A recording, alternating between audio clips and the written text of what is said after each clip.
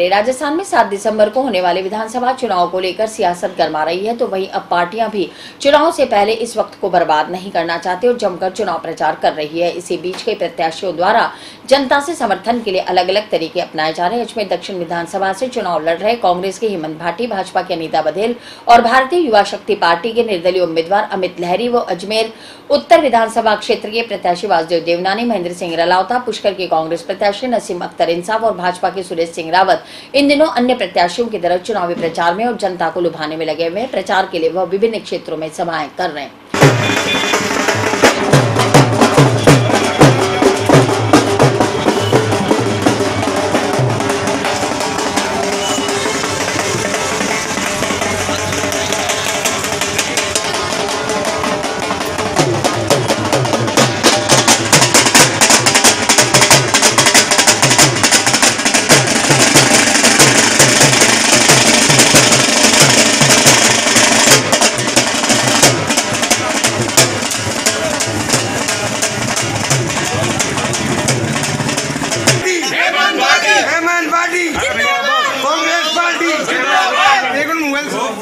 Side में हो जाओ तुम थोड़ा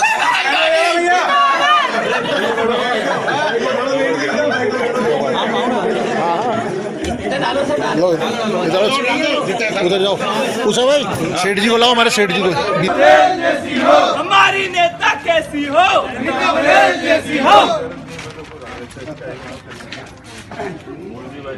अनिता बघेल अनिता बघेल भारतीय जनता पार्टी। जिंदाबाद। जिंदाबाद जिंदाबाद। जिंदाबाद। जीतेगी भाई जीतेगी भारत माता की भारतीय जनता पार्टी। जिंदाबाद जिंदाबाद। भारतीय जनता पार्टी। आज्ञा है। सबको आशीर्वाद है। दिल खोल बोलो भारत माता की समता महाराज की छत्तीस कौम की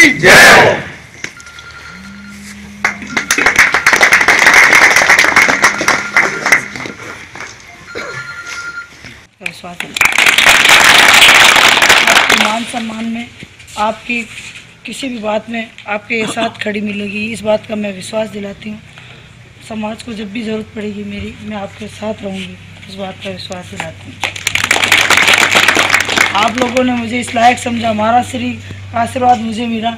मेरे लिए इससे बड़ी कोई बात नहीं हो सकती। एक बार पुनः आप सबको बहुत बहुत धन्यवाद। बहुत बहुत आभार।